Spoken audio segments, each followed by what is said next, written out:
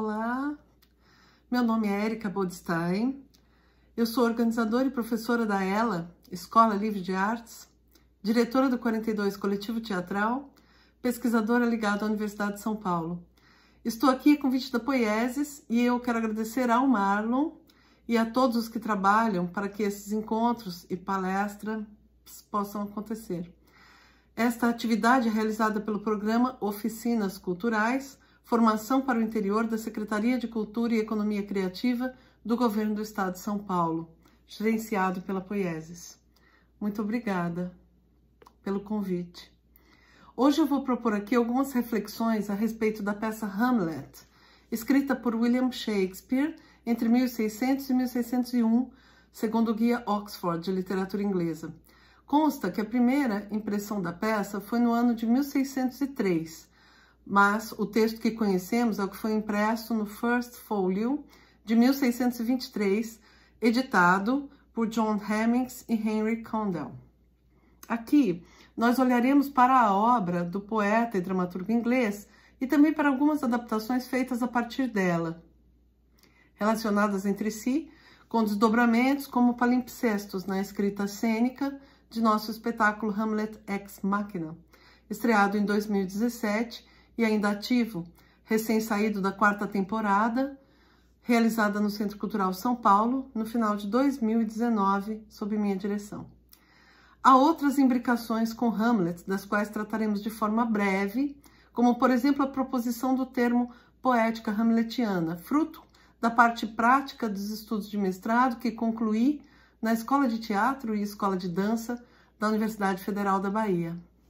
Hamlet é uma peça muito apreciada, como sabemos, e há também grande quantidade de estudos feitos a, a seu respeito em língua inglesa. Há tantos que são superados somente pelos estudos destinados às escrituras sagradas, a Bíblia. Muito já foi dito e redito, reeditado, e a cada vez novas descobertas são feitas. Nosso recorte aqui seleciona a peça fonte shakespeariana e uma outra, Hamlet Machine, escrita pelo alemão Rainer Müller em 1977. Müller era obcecado por essa peça de Shakespeare e passou grande parte da vida desejando encená-la, o que acabou de fato acontecendo mas antes ele foi convidado a traduzi-la, o que passou a fazer naquele mesmo ano, em 1977, depois de haver regressado a Berlim. Algo muito comum no teatro é acabarmos traduzindo nós mesmos os textos que encenamos, seja pela necessidade de fazer o texto caber na boca do ator ou por outra. E para dar conta da complexidade do tema que apresentamos, teremos de passar brevemente por alguns conceitos da teoria dos estudos da tradução e da adaptação. O processo de Heiner Müller como tradutor de Hamlet terminou na justiça. E ele saiu, felizmente, vitorioso. Segundo ele nos conta em sua autobiografia, quando o ano de 1977 começou, ele estava na Bulgária e ali imaginava escrever algo como Hamlet em Budapeste, uma peça de 200 páginas de problemática multifacetada, o que acabou não acontecendo, ao menos não na forma imaginada inicialmente. Voltando para Berlim, foi procurado pelo diretor Besson, que queria encenar Hamlet, e o convidou a traduzir o texto. Só um minutinho que saiu aqui o meu, o meu texto. E o convidou a traduzir o texto em quatro semanas, para que pudesse começar os ensaios. Diante da negativa, pois seria impossível traduzir Hamlet em quatro semanas, Besson perguntou a Miller qual a melhor tradução para o alemão, em sua opinião. A de Dresden e Hamburger, ele respondeu, e Besson passou a utilizá-la. Matthias Langhoff, a quem o assunto interessava, segundo Müller, era o assistente de direção, e ele levava constantemente perguntas de Besson a Müller. Ele diz: um ou outro trecho do texto não funcionava, eu devia mudá-los. Langhoff, entretanto, se aborrecia com os ensaios e ficava contente quando podíamos trabalhar em conjunto, que se transformou cada vez mais numa nova tradução. Os atores não puderam estudar o novo texto com suficiente rapidez e, no ensaio geral, apresentaram uma amálgama da velha e da nova tradução. no decorrer dos ensaios de teatro, processo orgânico e extremamente vivo, isso é muito comum. Em muitos casos, as cenas são levantadas com o texto, dia a dia, e esse é construído ao mesmo tempo em que os atores descobrem as suas personagens trabalhando com o texto e também com as imagens que ele evoca, além das provocações que recebem da direção e de outros atores e das pesquisas que realizam. No caso de Müller, os atores dirigidos por Besson já estavam trabalhando com outro texto e não conseguiram esquecer as linhas recém-adquiridas nos ensaios para substituí-las pela nova tradução mülleriana. O resultado levado ao palco era então híbrido. Trechos traduzidos por Müller, trechos não, o que resultou no processo judicial que o acusava de plágio. É interessante olharmos para esse fato que pode promover outras eventuais reflexões sobre a questão e outras que desta derivam, pois sabemos que não é possível registrar ideias, até mesmo projetos de encenação, que tramitam antes da peça ser levada ao palco, não raro copiados, imitados, antes que o proponente detentor da ideia original pudesse uh, trazê-la ao mundo. A questão provoca historicamente outras tantas. Por exemplo, de onde parte uma ideia original? Alguém cria algo? Ou alguém capta esse algo que está no ar, impresso no inconsciente coletivo, tomando de empréstimo aqui o conceito de Carl Gustav Jung? E depois de captar esse algo que está no ar, o sujeito passa a traduzir ou adaptar o apreendido devolvendo a matéria novamente ao palco, à tela, aos livros. A peça Hamlet Machine é um recorte, uma reescritura da peça Hamlet. Estruturalmente, são nove páginas que contêm as cinco partes do texto. A peça de Shakespeare tem mais de 200 páginas. Nas traduções para o brasileiro, e também é dividida em cinco partes, ou atos. Trata-se de uma tragédia escrita no Renascimento, que se aproxima na forma dos moldes da tragédia clássica dos gregos do século V a.C., escritas por Ésquilo, Sófocles e Eurípides. Segundo o dicionário de teatro de Patrice Pavie, a tragédia grega não conhece subdivisões em atos. Ela é ritmada pelas aparições do coro, que separam os episódios, indo de dois a seis. Cabe aos autores latinos, Horácio, Donato, em seu comentário de Terêncio, e sobretudo aos teóricos do Renascimento, formalizar a decupagem, acrescentando ao esquema ternário dois elementos intercalares, elevando o número de atos de três para cinco. Shakespeare escreveu Hamlet em 1600, 1601, tempo do chamado teatro elisabetano, que corresponde ao governo da rainha Elizabeth I da Inglaterra. Uma característica interessante da produção inglesa naquele período é que, enquanto em outros países da Europa o teatro estava reservado à elite, é, na Inglaterra, príncipes, nobres, artesãos e camponeses assistiam aos espetáculos juntos, embora cada um ocupasse seu lugar destacado dentro do espaço teatral a plateia ficava disposta próxima ao palco. E os que assistiam ao espetáculo em pé, no standing yard, muitas vezes ficavam debruçados sobre o tablado durante a apresentação, feita nesses espaços arquitetônicos abertos, circundados por estruturas de madeira nas laterais, como podemos ver hoje presencialmente ou em visitas virtuais feitas à réplica do Globe Theatre, construídas em Londres do outro lado do Tamisa. O The Globe Shakespeareano foi construído em 1599, destruído por um incêndio e depois reconstruído em 1613. Permaneceu ativo até 1642. No ano de 1997, a cerca de 200 metros do local original, outro Globe ganhou vida, uma réplica daquele, o Shakespeare's Globe Theatre, e nós podemos visitá-lo fazendo um tour virtual pela internet. O teatro elisabetano nos deixou contribuições muito importantes, Vejam que interessante, aquelas pessoas que não tinham condições financeiras para pagar um assento num dos três andares do teatro, os chamados groundlings, os que ficavam no chão, em pé, durante a apresentação e que visitavam os teatros The Rose, Red Lion ou The Globe no século XVII, colaboraram muito com a vivacidade que crescia a cada peça levada à cena por William Shakespeare e seus contemporâneos. Aquele teatro era construído e alimentado pela relação direta dos artistas com os espectadores. Em nossa encenação de Hamlet ex machina, buscamos também essa proximidade física. E os espectadores, localizados nas três laterais do bunker cenográfico onde hospedamos a encenação, são dispostos a um metro do cenário. Quando esticam as pernas, precisam negociar espaço, às vezes, com os atores, quando esses transitam fora da jaula cenográfica onde estão presos. Essa gaiola é uma metáfora que buscamos na cenografia descoberta nos ensaios e realizada pelos cenógrafos da trupe do 42 Coletivo Teatral, os meus parceiros Celso Rorato e Fernando Passetti. Essa metáfora alude à situação do próprio teatro independente realizado na alvorada do século XXI.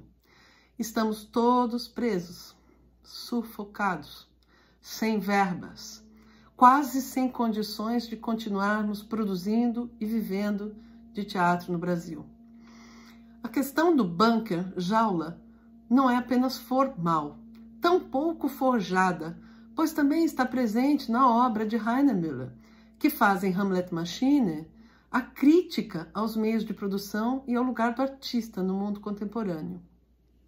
Voltando a Shakespeare, o crítico norte-americano Harold Bloom elabora um estudo monumental, Shakespeare, nessa metade de século.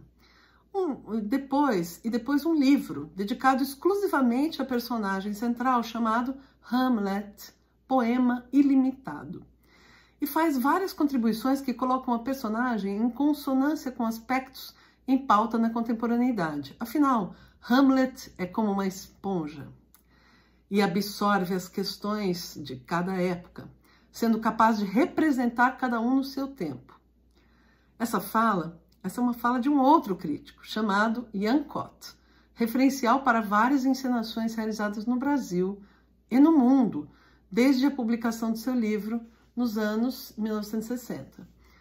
Cott travou diálogo intenso com Shakespeare é, e sobre com Shakespeare sobre Shakespeare, com um grande homem de teatro do nosso tempo, Peter Brook. Ian Cott foi um crítico literário e teatral polonês e em seu livro Shakespeare, Nosso Contemporâneo, ele discorre sobre a peça no capítulo Hamlet, nesta metade de século apontando a obra como um drama político, sob uma perspectiva existencialista e materialista, e retoma em sua análise a ciência política de Maquiavel, que via a história da humanidade como um rolo compressor que a todos assola.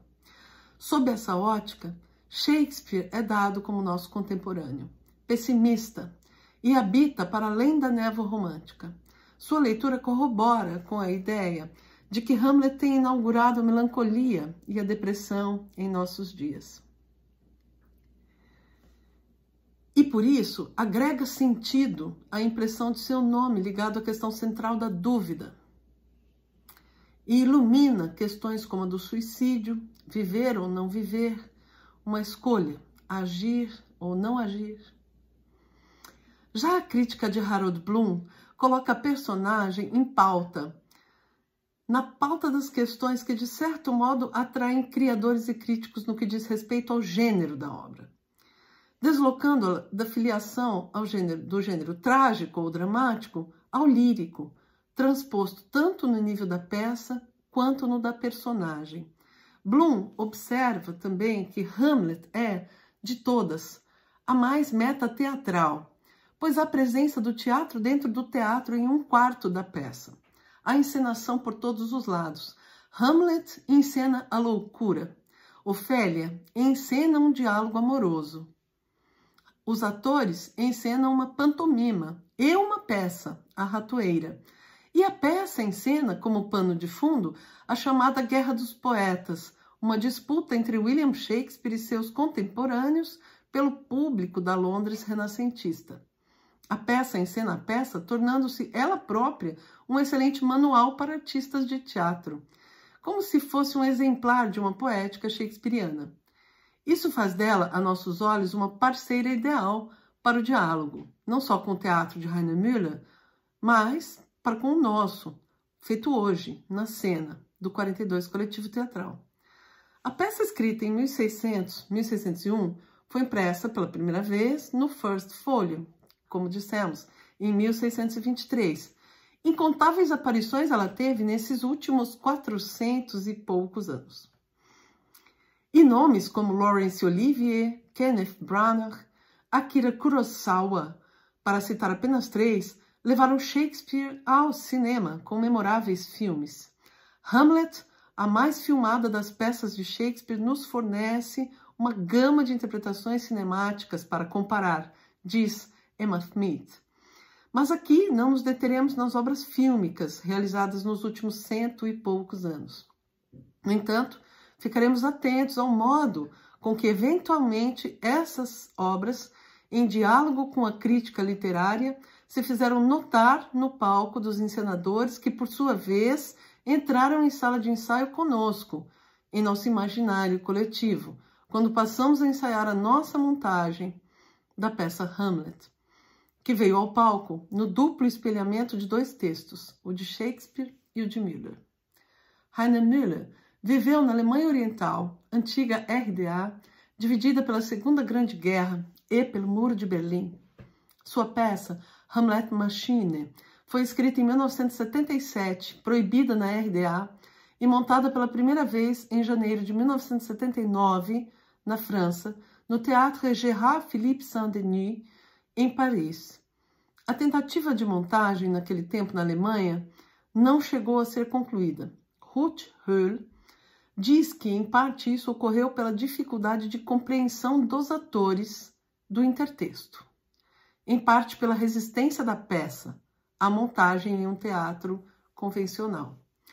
As nove páginas de Hamlet Machine parecem indecifráveis à primeira vista, pois há um sem número de referências históricas impresso em suas linhas, e para tentar compreendê-la intelectualmente seria necessário, no mínimo, olhar criteriosamente para a história da Europa e do Oriente, para a economia e a política mundiais, com enfoque especial no período entre guerras, do início da primeira aos escombros espalhados pela bomba de Hiroshima, e ainda para muito além disso. Ruth Hull nomeia a poética milleriana de intertextual. Em seu livro, ela cita vários pré-textos presentes em Hamlet Machine, entre eles as seguintes obras de Miller: a construção, cimento, os camponeses, Germânia, morte em Berlim, vida de Gundolin Frederico da Prússia, sono, soluço de Lessing, participação de morte, trator, lições, o anjo sem felicidade, Artaud, linguagem da tortura, além disso, cimento de Fyodor Gladkov, Ricardo III de William Shakespeare, dele também Macbeth, o Jato de Sangue, de Antonin Artaud, Teses Histórico-Filosóficas, de Walter Benjamin, Vigílias, de Bonaventura, O Coração das Trevas, de Joseph Conrad, O Enorme Lugar, de Edward E. Cummings, Crime e Castigo, de Dostoiévski, Quarta-feira de Cinza, quinto de T.S. Eliot, também dele A Viagem dos Magos, Planos e Fragmentos de Hölderlin, o fragmento número 7, Crítica da Filosofia do Direito de Hegel, a introdução escrita por Karl Marx, o nascimento da tragédia de Nietzsche, Dr. Givago de Boris Pasternak, Sob o Sol da Tortura, prefácio a Franz Fanon, Os Condenados da Terra, escrito por Jean-Paul Sartre, e a Bíblia. O universo milleriano é reelaborado na peça e Hull bem observa que o número de pretextos, bem como a pouca ou nenhuma acessibilidade de vários deles a um público mais amplo, já prenunciavam o nível de exigência intertextual da peça. Aqui cabe a proposição de uma boa questão para nossa reflexão. Precisará o público reconhecer intelectualmente todas essas obras para que haja fruição? E os atores? Necessitarão eles, a cada vez que forem encarnar aquelas personagens, gastar meses ou talvez anos lendo todas essas obras literárias às quais o autor faz referência? E a encenadora, a diretora, o diretor, o maestro, os cenógrafos? Quando realizei a adaptação, pensei nessas cinco partes do texto como estilhaços de bombas de guerra que podem ser levados à cena em qualquer ordem. Müller apresenta a seguinte: 1. Um, álbum de família. 2. A Europa da Mulher. 3. Scherzo. 4. Peste em Buda, Batalha pela Groenlândia. 5. Espera Feroz, na terrível armadura, Milênios. Acabei utilizando essa ordem em Hamlet Ex Machina. O diretor Márcio Aurélio adotou outra, em sua antológica encenação com Marilena Ansaldi. Ele começava pelo quarto ato o texto sendo dado ao mesmo tempo em que o público entrava no teatro. A primeira parte de Müller é a mais preenchida de linhas, o que faz das outras quatro estilhaços ainda mais cortantes e perigosos, por assim dizer, por seu poder de fissura, de golpe, de incisão. Pensando a partir disso, é possível imaginar que a montagem de Hamlet Machine seja um bom instrumento quando o teatro precisa de um contragolpe, talvez para autodefesa. Ao menos, essa foi uma das premissas consideradas por mim na proposição do texto para a encenação com 42, coletivo teatral. Hamlet nunca deixou de atrair espectadores e encenadores nesses últimos quatrocentos e poucos anos. Hamlet Machine também causou impacto nos últimos 41 anos. Apesar de ter permanecido proibida na RDA desde a sua escritura até a queda do Muro de Berlim. A primeira encenação realizada por Rainer Müller no Deutsches Theater, ex-Berlim Oriental, foi feita somente em março de 1990. A peça foi levada ao palco com a soma de suas nove páginas ao texto integral de Shakespeare, com oito horas de duração, permeados por três longos intervalos. A proposta de Heiner Müller era essa: a de que seu texto fosse levado à cena sempre em companhia do de Shakespeare, o que acabou não acontecendo de modo geral, mas conosco sim. Estreamos em 2007 e considerei que havia ao menos uma forte razão para convocar Hamlet novamente ao palco naquele momento, pois era necessário ouvir os fantasmas de nossa história, consultar o passado para dar conta da brutalidade que se instaurava no presente. No entanto, não segui o exemplo de Miller, que colocou a peça de Shakespeare na íntegra para compor com a sua. Recortei trechos, estilhaços de Shakespeare, imaginando uma ficção, como se tivéssemos conseguido salvar apenas algumas páginas que não tivessem sido corroídas, desbotadas com o passar do tempo ou corrompidas em nossos arquivos digitais memoriográficos. A minha adaptação para a peça Hamlet Ex Machina, encenação que realizei com 42 coletivo teatral, levou em conta os dois textos e também o diálogo intertextual com duas outras montagens que estavam ainda vivas em nosso imaginário. O Hamlet Machine, de Marcio Aurélio, levado ao palco em 1987, 88 e reapresentado no MASP por ocasião da vinda de Rainer Miller a São Paulo, no mês de julho daquele ano, célebre pela inovação e pela interpretação de Marilena Ansaldi, e o Hamlet, do Teatro Oficina, Usina, Usona, dirigido por José Celso Martins Correia, apresentado em ensaios abertos ao público nas instalações do que viria a ser o Sesc Pompeia, depois estreado na reabertura do Teatro Oficina em 1993. No Brasil, as encenações de textos de Heiner Müller ficaram mais presentes desde 1986, quando Quartet estreou no Rio de Janeiro, dirigida por Gerald Thomas. Cássio Stalin Carlos, em texto jornalístico publicado em 1996, anunciava o possível lançamento da autobiografia Guerra Sem Batalhas, Uma Vida Sob Duas Ditaduras, que acabou acontecendo naquele ano. No texto, ele informa que em 10 anos, desde que Quartet, desde Quartet, perdão, nove textos do autor foram levados ao palco por Gabriel Vilela, Ruth Escobar, Márcio Meirelles, Vera Holtz, Miriam Amaral e Márcio Aurélio, contando com traduções feitas por Marcos Renault, Cristiane Höring, Fernando Peixoto, Reinaldo Mestrinel, Ingrid Kodela, entre outros. Ruth Höll conta que a montagem de Márcio Aurélio foi muito elogiada pelo autor, que se mostrou surpreso eh, pela concepção brasileira do espetáculo, por ser a primeira vez que viu todos os papéis serem representados por uma única atriz. Márcio Aurélio, nesse debate, um debate feito no Centro Cultural São Paulo, disse para gente assim que o Rainer Müller disse que ele pensava que a peça poderia, imaginava a peça dele representada por 20 pessoas, 200 pessoas, eh, um, um, vários homens, elencos misturados, tudo ele imaginou, menos que a peça pudesse ser representada toda ela por uma única mulher, uma única atriz. Eu estive presente no teatro naquele inverno gelado de 1988 em São Paulo, em companhia de colegas da Escola de Arte Dramática, onde eu havia ingressado naquele ano.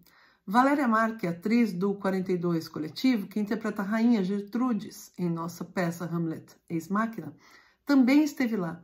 E o pulso do que havia sido provocado pela cena ainda estava vivo em nós quando passamos a ensaiar a peça quase 30 anos depois. No ano passado, em 2019, no decorrer da temporada que realizamos no Centro Cultural São Paulo, tive a sorte e a felicidade de poder convidar o Marcio Aurélio e Ingrid Kodela, tradutora e pesquisadora de Büchner, Brecht e Müller, que compuseram uma mesa com John Milton, coordenador do GREAT, Grupo de Estudos de Tradução e Adaptação, do qual participo, e especialista em Shakespeare. Foi para nós uma imensa boa sorte poder ouvi-los naquele debate que propusemos e trocar impressões sobre a atualidade do texto Hamlet Machine. O autor alemão Heiner Müller estava à frente de seu tempo. E quanto mais o tempo passa, mais atual e decifrável, por assim dizer, o texto fica ou talvez mais evidente, na proporção imediata da percepção do sujeito dos processos históricos nos quais está inserido com seu ser político e social. Márcio Aurélio, em conversa recente, voltou a lembrar uma imagem de Müller, revelada a ele à época, a de que o teatro olha no branco do olho da história. Márcio, na palestra do Centro Cultural São Paulo, voltou a lembrar o vigor de Marilena Ansaldi, que fazia tudo sozinha, luz operando os dimmers, som e ainda com aqueles gravadores de rolo. Sua imagem como arauto da herança de Pina Bausch no Brasil foram marcantes, assim como a trilha sonora que misturava trechos de ópera à música pós-moderna alemã, a cenografia, tudo ali na peça, naquele lugar, marcava a imagem que vem para não nos deixar. Quero aproveitar aqui para agradecer é, desses debates que fizemos e da temporada no Centro Cultural São Paulo. Quero agradecer a curadora Lisete Negreiros, que é para mim uma referência no teatro desde sempre. Marcos Renault e Ingrid Kodela também estiveram presentes nos ensaios e apresentações e colaboraram muito, compartilhando conosco a memória viva do encontro que tiveram com Rainer Müller aqui no Brasil. Aproveito para agradecê-los também, mais uma vez. Ingrid, naquela mesa do Centro Cultural São Paulo e em textos publicados antes, falou do impacto das obras do autor em sua vida e que impressionava muito a, a ideia de Müller sobre como o teatro resistiria sobrevivendo no futuro nas periferias e em pequenas ilhas de desordem. Como talvez esse pequeno bunker cenográfico que abrigou um pequeno coletivo de artistas que, à moda de Hamlet, não desejam pegar em armas para lutar contra a tirania e a corrupção. Antes, nós procuramos na arte as armas para lutar por melhores condições de vida e de trabalho para aqueles que, como nós, atuam nesse mau tempo. Ruth Höll diz que as cinco cenas da peça Hamlet Machine espelham, ao lado da tragédia Hamlet, o nosso tempo. As catástrofes da história e da cultura ocidental e as crises, a crise do artista intelectual cindido entre o desejo de se transformar em uma máquina sem dor ou pensamentos e a necessidade de se tornar um historiador desse tempo irremedido. A mim, o que interessou particularmente me levou a propor o texto ao coletivo, entre outras coisas, foi a dificuldade que o intertexto, mais do que qualquer outro de Müller, tem oferecido à realização teatral. Tive de confrontar-me com ele no decurso da graduação de letras, no estudo da literatura germânica, e passei muito tempo detida naquele emaranhado de armações que não eram simples novelo de lã, algo desfazível à mão, mas com armações de aço, de ferro, perigosas mesmo, cortantes, ameaçadoras. Tive a sorte de estudar sob a orientação de Cláudia Dornbusch. Aproveito para agradecer. Em meio aos estudos, de repente senti como se eu fosse a câmera que atravessa a janela sem que o público perceba, num daqueles filmes clássicos italianos. Tudo ficou claro. As grades de ferro desenhadas por Müller foram percebidas como virtuais e entendi que era preciso olhar para o sistema para perceber seu desenho. Ruth Hull diz que o projeto do autor era escrever peças que oferecessem resistência ao teatro levando a mudanças necessárias à produtividade deste. Nas palavras de Miller, acho basicamente que a literatura existe para opor resistência ao teatro. Só quando um texto não pode ser representado da forma como o teatro existe, é que ele é produtivo para o teatro ou interessante. Para o meu projeto de encenação, essas palavras serviram como mão na luva ou como um abraço de corpos que se entendem. O subtítulo da autobiografia de Miller, Uma Vida entre Duas Ditaduras, e também os comentários críticos feitos a respeito de sua obra, chamaram minha atenção. Para Elvis César Bonassa, o acerto de contas da Alemanha com seu passado tem na obra do dramaturgo Rainer Müller um testemunho indispensável. Ele viu a queda da República de Weimar, e a ascensão do nazismo. Permaneceu no lado socialista da Berlim dividida e, afinal, viu a queda e a anexação da Alemanha ao mundo capitalista. Bonassa diz que Müller, apesar de ter alguns acessos de crença, retornou sempre ao ceticismo. Para ele, as marcas da história alemã se tornam chaves amargas e irônicas para compreender o mundo. Por exemplo, a evacuação para outros planetas que já está ocorrendo, disse Müller, será seletiva, de acordo com o princípio de Auschwitz. Esse texto é de 1996. Nossa montagem de Hamlet Ex Machina veio ao palco em 2017, 20 anos depois. Alguns de nós, do 42 Coletivo Teatral, nascidos no ano do AI-5, também passamos, de certa forma, a vida entre duas ditaduras, isso se considerarmos a ditadura militar no Brasil, a ditadura do capitalismo no mundo e a ascensão da extrema-direita em vários países, e no Brasil, na alvorada do jovem século XXI. Situação ainda piorada agora com o advento do Covid-19, da pandemia, do confinamento e os intermináveis processos seletivos, dentre os quais muitos se inspiram nos velhos padrões de Auschwitz. Assim, para falar de Hamlet ex machina, precisamos pensar um pouco nos ecos que entram conosco em sala de ensaio, ou no que se pode chamar talvez de herança dialógica crítica que recebemos daqueles que nos precederam, Shakespeare, Müller, Márcio Aurélio e Zé Celso, citando apenas alguns que marcaram nitidamente presença em nós e por isso permaneceram nessa carne viva, criativa, quando passamos as nossas descobertas e pesquisas de escrita cênica. Claro que não há como fugir de Peter Brook, Bob Wilson, Marjorie Garber, Carolyn Spurgeon, A.C. Bradley, Gabriel Vilela, Ariane Minuschini, Antunes Filho e tantos outros que amalgamaram a massa do que chamamos Shakespeare em nossa imaginação. Há outras vozes que também foram importantes para mim, como a do cineasta russo Grigory Kozintsev e seu filme de 1964, que ecoou forte quando nos detivemos a imaginar as proposições que faríamos aos atores para as cenas do colóquio amoroso entre Hamlet e Ofélia, e também nos solilóquios do protagonista, em proposições feitas aos músicos, além de imagens fortes, e dos textos já citados dos cineastas Kurosawa, Branagh e Olivier. Hamlet ex como eu disse, além de ser uma peça, é também o fruto, na prática, de uma pesquisa científica que desenvolvi na Universidade Federal da Bahia e que resultou na, na redação de uma dissertação de mestrado. Bom, um segundo capítulo começa aqui.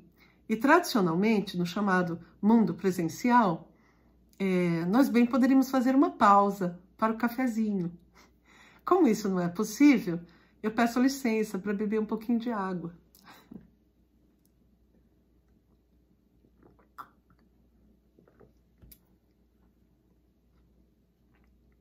Retomando, é, nesse trabalho de pesquisa feita na Bahia, eu olhei para o Théâtre du Soleil, companhia francesa dirigida por Ariane Minuschini como um possível modelo de processos de criação, formação e ação. E esse olhar também entrou em sala de ensaio e foi definitivo é, para a forma com que o espetáculo Hamlet ex Machina acabou sendo levado à cena. Aproveito para agradecer as conversas e impressões que pude trocar com Aline Borsari, atriz da companhia, que assistiu aos nossos ensaios quando veio ao Brasil, lançando perguntas que foram extremamente importantes no direcionamento do projeto de encenação. Ingrid Kodela também teve participação fundamental no processo de ensaios, num momento decisivo no qual estávamos prestes a abrir o pano. Nosso espetáculo faz uso de quatro línguas, português, quatro línguas diferentes: português, alemão, inglês e espanhol, em cena com breves incursões pelo italiano e o francês. Tínhamos recursos parcos, mas ainda assim conseguimos um modo de projetar possíveis legendas em uma tábua do cenário posicionada para esse fim. Mas uma provocação de Heiner Müller, uma pergunta lançada pelo autor, lançou em mim um desejo do qual não pude fugir. A pergunta era se o teatro seria ou não possível como um ato capaz de comunicar independente de língua ou linguagem. Tudo em mim caminhava para abrir mão das legendas e legar ao público a fruição da língua na qual Shakespeare compôs seu texto. E ao alemão, de Heiner Müller. O espanhol e o português brasileiro vieram junto e juntos, cada qual achando passagem como forma de fixação, repetição, tradução, interlocução, intertexto. Para decifrar os inúmeros enigmas de Müller, a chave que apresentei foi a de tentar entregar o sistema aos olhos do público. É, não o que se vê, a interface, ou o que o intelecto pode tentar aprender, mas o invisível, os códigos numéricos que produzem o que vemos como imagem, como, por exemplo, nas telas dos computadores. Sim, falamos aqui da pesquisa linguística e das formas da linguagem na escrita cênica teatral, mas o que isso tem a ver com o Teatro de Soleil? Naquele grupo, como sabemos, a presença de artistas pertencentes a cerca de 20 nacionalidades diferentes. Sempre foi assim. O Soleil é uma trupe multicultural, mas seus espetáculos são feitos em francês, língua de uso comum nos ensaios e apresentações. O Teatro de Soleil chegou ao Brasil para apresentar a peça Os Efêmeros. Mas meu contato com o trabalho da trupe já vinha de antes, desde que a diretora Riane Nuschini exibiu e comentou em 1997, no Sesc Anchieta, o filme O Soleil Même la Nuit, no qual elabora o processo de ensaio da peça O Tartufo, de Molière. Dez anos depois, eles vieram para fazer Os Efêmeros. E então passamos a realizar oficinas práticas dadas nos intervalos das apresentações antes ou depois das temporadas. E, nessa, e essa experiência acabou por alterar completamente o rumo do teatro em minha vida. No ano de 2011, o Soleil voltou ao Brasil para apresentar Os Náufragos do Louca Esperança. E os artistas ministraram novas oficinas. No intervalo de tempo entre 2007 e 2011, artistas da trupe de modo independente também vieram ao país para dar oficinas, Além disso, alguns de nós do 42 Coletivo tivemos a boa sorte de ter estado na sede do grupo na França e lá também pudemos aprender bastante com eles. Aproveito para agradecer a eles por toda a partilha. Chamou minha atenção, em meio aos estudos, o fato de que alguns princípios eleitos por aqueles que fundaram o Teatro de Soleil em 1964 permaneciam ativos até hoje. Entre eles, o trabalho e o salário igualitários, o exercício da pontualidade, a prática da criação coletiva e o diálogo com o tempo presente, sempre embarcados no trem da história.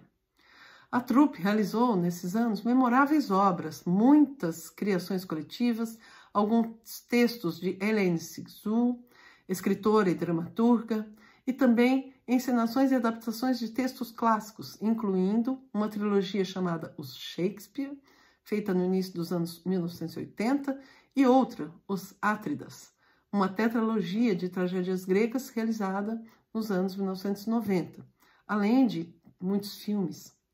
Outras companhias, como o Living Theatre, o The Bread and Puppet, ou a Escola de Teatro da Bahia, ou mesmo o Teatro Oficina, contemporâneos do Soleil, também trabalhavam com os mesmos princípios, princípios semelhantes, no que diz respeito à coletividade, mas, no decorrer do tempo, tiveram outras formas de gestão afastadas daquelas propostas dos seus fundadores, o que não aconteceu no Teatro Rede Soleil, e isso chamou minha atenção.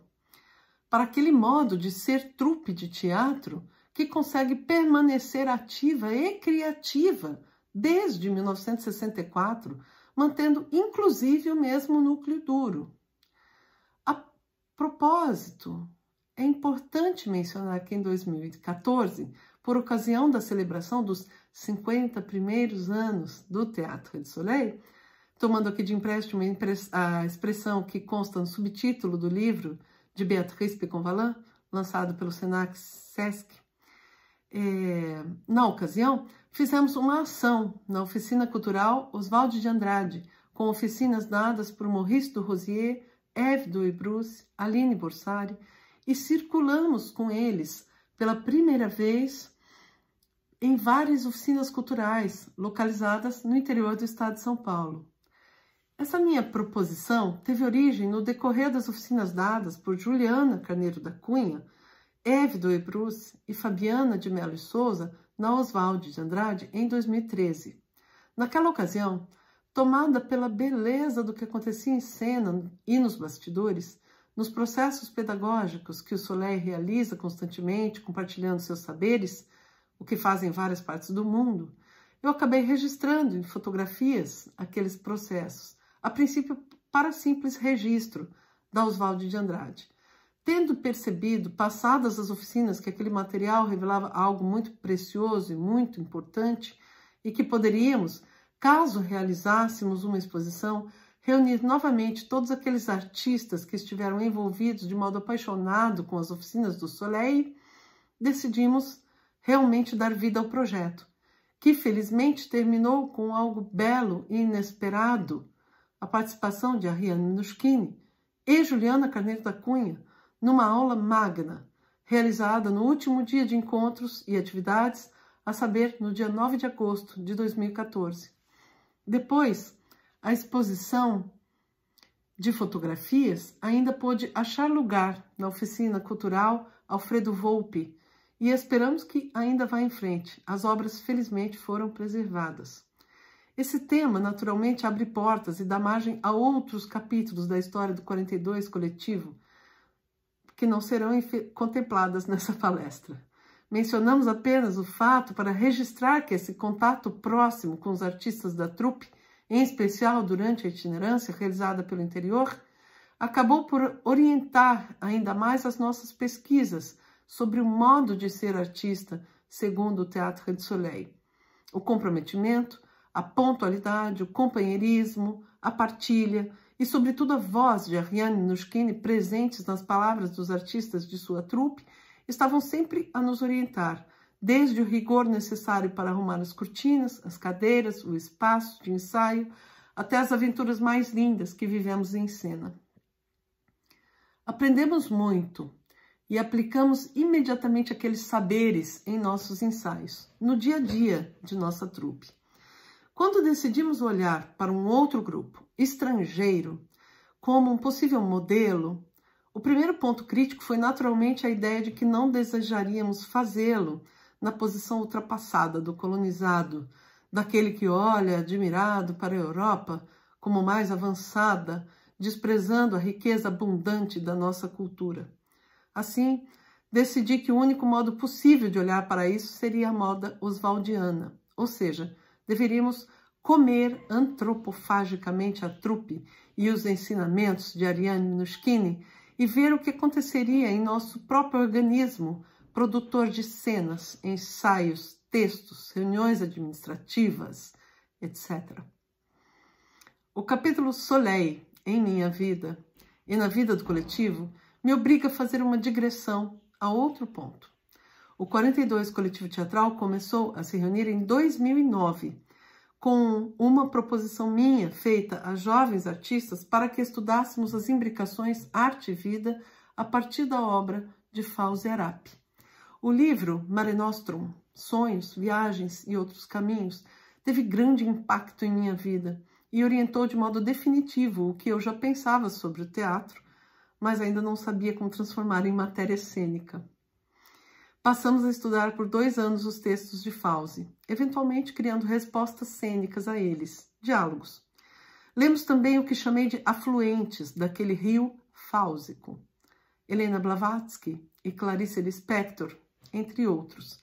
Tínhamos encontrado nosso jeito de fazer teatro.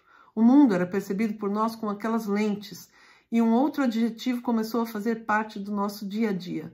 As coisas eram todas fáusicas. Ou seja, passamos a ver o mundo através dos pensamentos e ideias emprestadas de Fauzi de Jung, Blavatsky, Lispector, Fernando Pessoa.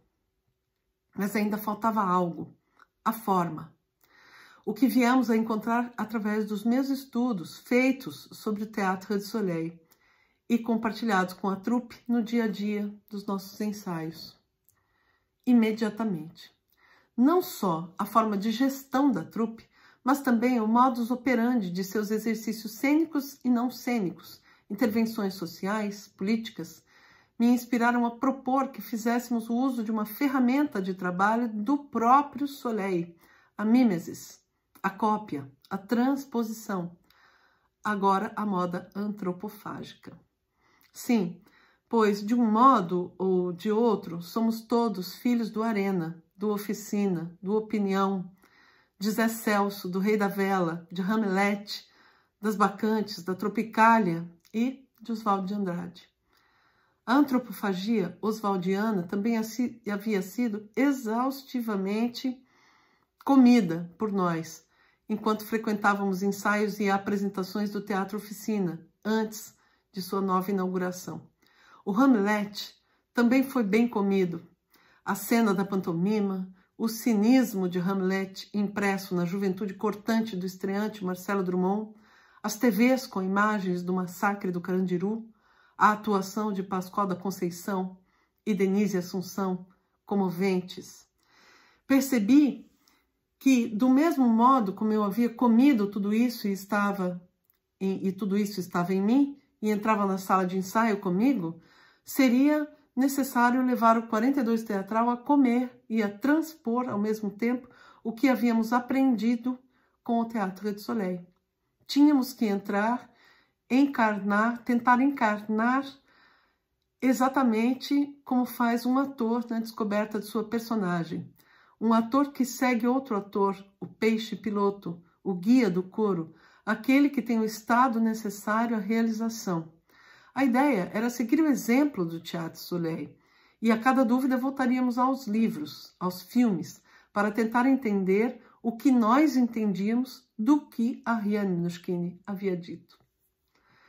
Então, para falar com algum apuro sobre a encenação de Hamlet e Máquina, precisamos passar no mínimo por duas peças, a de Shakespeare e a de Heiner Müller, por dois encenadores e suas versões para Hamlet, José Celso e Márcio Aurélio, e pelo teatro de Falzerap e o de Ariane Minuschini. Não é pouco. E, naturalmente, seria tarefa impossível de ser concluída caso quiséssemos esgotar o tema nesse breve espaço de tempo. Houve muito aprendizado e foi grande a riqueza de toda a experiência vivida ao longo desses anos pelo 42 Coletivo Teatral e por isso decidi compartilhar aqui uma parte dessas nossas descobertas para fomentar outras que ainda podem ser feitas. Nossa peça estreou em 2017, na Oficina Cultural Oswaldo de Andrade, e aproveito para registrar aqui o agradecimento ao coordenador Valdir Rivabem, que acolheu o projeto dando a ele as condições necessárias para os ensaios, o que não encontramos facilmente. Para ensaiar como no Soleil, precisávamos ao menos de uma sala, de um espaço para descobrir e experimentar a cenografia, os trajes de cena, a música, até que descobríssemos a forma ideal e encontrássemos a evidência. E assim foi feito. Trabalhamos com valorosos parceiros que passaram a frequentar todos os ensaios junto com os atores e a fazer parte da trupe. De modo geral, trabalhamos juntos nas funções de produção, adotamos salários igualitários e acabamos de apresentar nossa quarta temporada no final do ano passado no Centro Cultural São Paulo. No caminho trilhado, pudemos descobrir na prática, comendo o soleil antropofagicamente, onde é ou não possível para nós ter a trupe ou as orientações de Ariane Minuschini, as que encontramos nos livros como modelo ou uma inspiração, como farol para o nosso próprio modo de fazer e de ser e de fazer teatro no Brasil. Um ponto importante que diz respeito ao coletivo e a Hamlet ex machina foi o termo desenvolvido na pesquisa de mestrado. Propusemos a expressão poética hamletiana e depois prática hamletiana para fazer referência ao modo de fazer teatro no Teatro de Soleil, não só na cena, mas também fora dela, nos modos de gestão, por exemplo. O adjetivo foi retirado de um dos solilóquios, aqueles grandes monólogos de Hamlet. O personagem atravessou os séculos XVIII e XIX encantando a todos com ser ou não ser, eis a questão. Ou ainda com há mais coisas entre o céu e a terra do que sonha nossa vã filosofia. Apesar dessa última ser um tanto quanto fálsica, resolvi tomar distância do romantismo e olhar para o trecho em que Hamlet conversa com os atores. Ali há uma pequena estruturação de um, uma possível ars poética shakespeariana. Pois o príncipe da Dinamarca dá uma aula aos atores recém-chegados a Elsinor de como deseja sua atuação na peça A Ratoeira, que será apresentada ao rei Cláudio e à rainha Gertrudes no evento meta teatral. Ajuste o gesto à palavra e a palavra ao gesto, diz Hamlet na cena 2 do terceiro ato. Ele diz isso, e a frase, que para muitos alude ao teatro em si, fazendo a junção da literatura, da palavra, à, dança, o gesto, em nossa leitura procura levar Hamlet para o século XXI, fazendo uma outra aposta, a da busca pela coesão e coerência de seres sociais e políticos na junção da palavra ao gesto. Hamlet passa a peça em busca de uma vingança que só acontece no final do último ato. Como já dissemos, o crítico Harold Bloom diz que Hamlet faz parte da vingança de Shakespeare contra a tragédia da vingança, muito comum no seu tempo. Mas e em nosso tempo? Do que desejaríamos nós vingarmos-nos, procurando chamar a atenção para o ajuste da palavra ao gesto? Fala-se do dever, ou do prazer, da pontualidade. Mas quantos de nós, ou quantas trupes de teatro, começam o ensaio na hora certa? Fala-se do dever, da transparência com verbas públicas. Mas quantos de nós agimos de modo a expor as contas a todos, seja no interior de uma trupe, de um condomínio, de um comércio, uma prefeitura, um estado, uma nação? Fala-se em respeito ao dinheiro público, mas quantos se importam? E os investimentos de dinheiro público em benefício do espectador? Como vão as nossas políticas públicas quanto à inclusão? A concessão de espaço, de lugar de fala aos coletivos e artistas independentes de teatro do nosso país. Há muitas dessas questões que podem tirar o sono de todos aqueles que vivem ou tentam viver fazendo teatro por aqui. Nos estudos que fizemos, pudemos perceber que no caso do Teatro Rede Soleil, todas as vezes que fazíamos a pergunta, ah, mas eles agem segundo essas palavras? E a resposta que encontramos foi sim. Nesse caso, sim. É, no outro, também. Então, achamos o termo hamletiano nesse sentido é, que cabia para referirmos a esse modo de ser no teatro e no mundo. Pois olhamos também em nossos estudos para as ações políticas e sociais da trupe, como a criação de manifestos e associações em proteção de refugiados, perseguidos políticos, imigrantes, entre outros. Tudo isso é possível de vocês poderem conhecer e ver através do site da trupe na internet. Hamlet e também dos livros publicados em português sobre o Teatro de Soleil.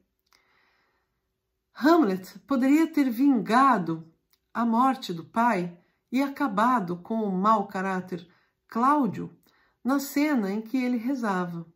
Com muita propriedade, grande parte da crítica observa que não há nada de razão religiosa por detrás da não ação de Hamlet o que talvez nos leve a acreditar que também ele preferiu o lugar da dúvida, a dialética, o esgotamento, o debate de ideias a uma ação premeditada, passional e furiosa. Ou seja, Hamlet não pega em armas para, como seu falecido pai, não adere ao sistema de corrupção ou governo impostor e tirano de seu tio. Então, o que resta? A resistência, a busca pela verdade através do embate de ideias, o confronto entre crenças e percepções de um mundo das próprias personagens em si, o que, o que destas com o mundo e destas com o mundo através de leitores e espectadores e do autor com o mundo de sua época como sujeito social e político.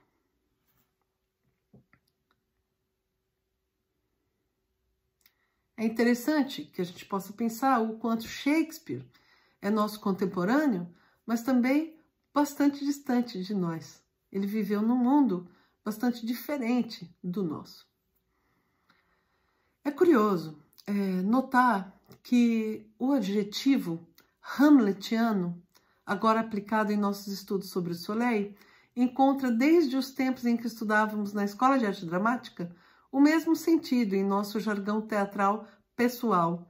E desde aquele tempo tem seu, seu sentido era oposto ao de outro adjetivo, que aplicávamos a sujeitos que fizessem coisas ruins ou macbetices de qualquer tipo.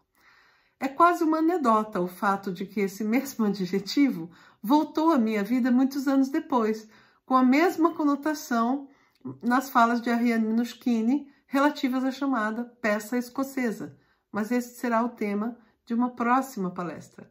E por hora vamos deixar a questão de lado, pois aqui estamos em busca do ser hamletiano, que chega a ser o oposto daquele que faz macbetices, exercendo, por exemplo, tiranias à moda de Macbeth. Hamlet, ex-máquina, a nossa peça, levou ao palco os desdobramentos das pesquisas que reúnem o até aqui exposto, de modo geral e sintético. Agora vamos passar alguns exemplos de como essas camadas interagiram na descoberta da encenação, a nossa Sansa, a nossa cabecinha encolhida de índio. A imagem é ótima, mas não é minha. Rainer Müller, quando terminou o processo de tradução do texto para aquela montagem de Besson, disse que surgiu muito rapidamente essa peça de nove páginas, como uma dessas cabecinhas encolhidas de índios, a Hamlet Machine. Ele diz isso em sua autobiografia, na qual acusa a impossibilidade de chegar ao projeto imaginado na Bulgária de propor diálogos, tentando transportando material para o mundo. Do assim chamado socialismo stalinismo real. Não havia mais diálogos, ele diz. Queria incluir diálogos, mas não era possível, não havia diálogos. Só blocos monológicos. E o todo encolheu. Ficou reduzido a esse texto. O primeiro ponto para a nossa descoberta dessa Tsansa partiu em um pressuposto. Trabalharíamos com três tempos: o tempo de Shakespeare, o tempo de Müller e o nosso tempo. Esse foi o único a priori que levei à sala de trabalho para os ensaios com os atores. Teríamos a. Perdão, Sim. É, teremos a poeira do tempo acumulada nesses quatrocentos e poucos anos sobre os livros e mais livros impressos com as obras de Shakespeare. A poeira tóxica, o pó do concreto, espalhado pelo mundo ao longo do século XX, e os escombros das guerras vividas na Europa de Rainer Müller. Tudo isso em todos os níveis, cenográfico, trajes, músicas, jogo de cena, etc. Estilhaços formais espalhados na linha do tempo e às vezes espelhados, sobrepostos ou transpostos. O nosso tempo faz traz questões curiosas sobre as formas de produção teatral. Vivemos na era dos monólogos.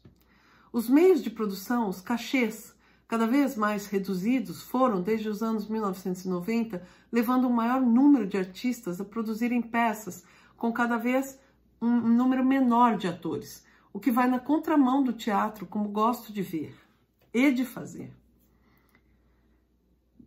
Eu gosto do palco repleto de gente, como nas encenações do Teatro Oficina ou do Teatro Red Soleil, ou nas minhas.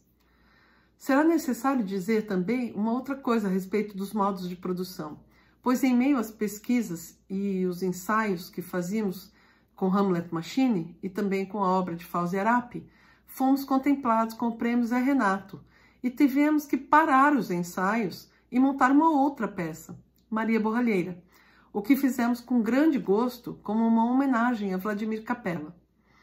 Com ela, ganhamos outro edital para apresentar a peça na Funarte, mas logo veio a ocupação política daquele prédio público como parte dos protestos feitos contra o governo de Michel Temer e o fim do Ministério da Cultura. Na imprensa, matérias noticiavam que nós, artistas em todo o território nacional, lamentávamos o fim do MINC, Ministério da Cultura. e que não reconhecíamos a legitimidade daquele governo golpista.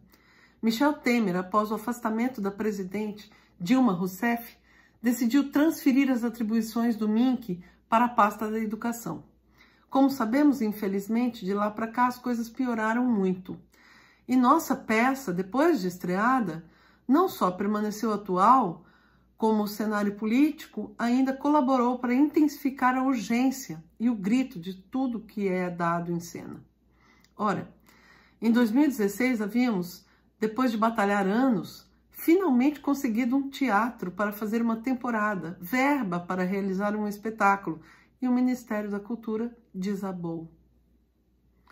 E lá estávamos nós, tentando fazer teatro, tentando estudar como poderíamos fazer o melhor naquele momento como dobrar cortinas, como descobrir figurinos sem ter acervo próprio nem local de guarda para os equipamentos, como descobrir cenários com verbas tão reduzidas. E se errássemos? E se o que fizéssemos não servisse à cena? Não teríamos tempo nem condições financeiras para refazer. Afinal, não era possível eleger o Teatro de Soleil como ele é hoje e exigir de nós as mesmas condições de trabalho deles. Era preciso olhar para eles no passado, no tempo da fundação da trupe, no tempo em que ocuparam a cartucherie quebrando paredes e reformando tudo com as próprias mãos. Ou ainda para antes disso, quando, como nós, não tinham sede própria, mas nem todos eram capazes disso. Como criar trilha se não há espaço para guardar os instrumentos? Onde estava nosso galpão, nosso sótão, nossos figurinistas à disposição, nosso salário? E o público? Como seria possível trazer as crianças, alunos de escolas, se a ocupação que inicialmente abrigava artistas passou a receber também os vizinhos do espaço da Funarte, que habitam o centro de São Paulo, os moradores da chamada Cracolândia? Naquele cenário político e social dificílimo, surgiu a urgência da retomada dos ensaios de Hamlet, o que promoveria sua consequente estreia no início do ano seguinte. A letra da marchinha que anima a chegada dos atores a Elsinor diz assim: Foi golpe, sim, já clareou. Na gringa todos sabem, o Brasil que se enganou. Quem não era de se temer, fez de tudo, tomou o poder e agora toma tudo do povo. A composição de Adriano Salhab foi feita a partir de um brainstorm, um balaio de ideias, vindas de todos os artistas do coletivo. Estávamos indignados. Vamos assistir agora a versão mais recente da marchinha, gravada pelo parceiro Gustavo Carvalho, já com uma alteração feita na letra, especial para a quarta temporada no Centro Cultural São Paulo. Quem não era de se temer, fez de tudo, tomou o poder. E o Bozo toma tudo do povo. Enquanto o povo toma, vamos ver a cena.